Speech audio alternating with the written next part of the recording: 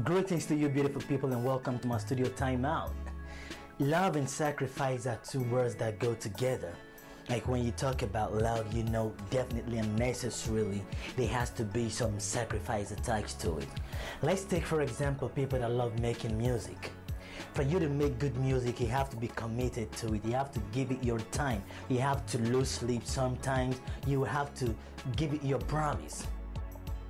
There are some kinds of stories of love and sacrifice that we hear sometimes, and we begin to wonder if we are really making the amount of sacrifice demanded of us by the things that we love, either people or things.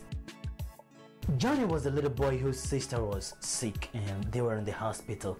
And the doctor explained to them that the little girl had a disease that the boy suffered two years earlier. And he explained to them also that the only solution to the girl's problem was a transfusion from somebody who had conquered that disease. Now, the situation, the circumstances made the boy a perfect donor.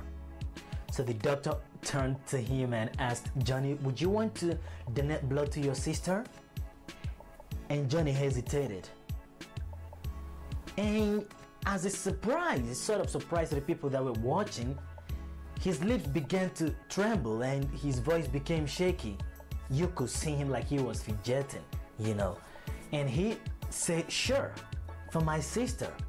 And that was the answer that he gave Sure, for my sister.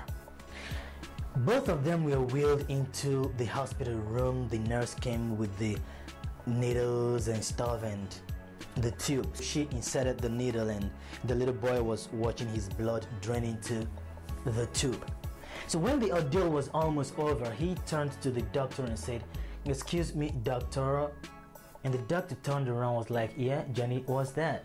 And he asked, When am I going to die?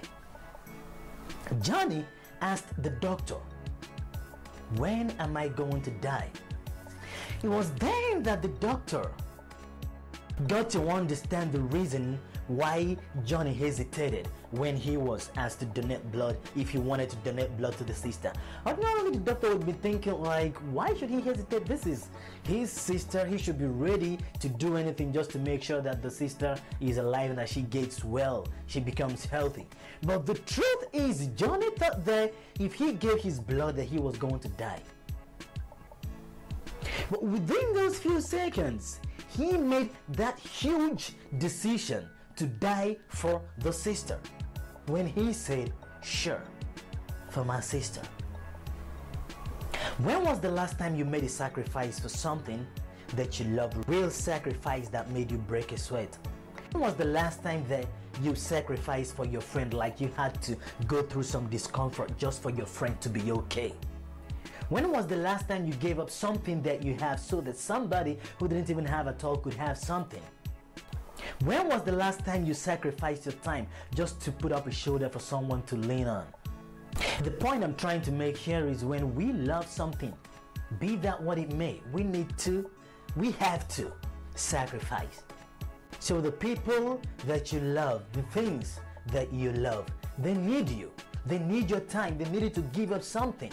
And those talents that are buried within you, those things that you know that you can do, don't joke with them. Give them your time. God saves other people through you and through the things that He has given you. So thank you so much for watching this. I hope you enjoyed it. I will see you next time. Till then, keep smiling and remain truly blessed. Thank you.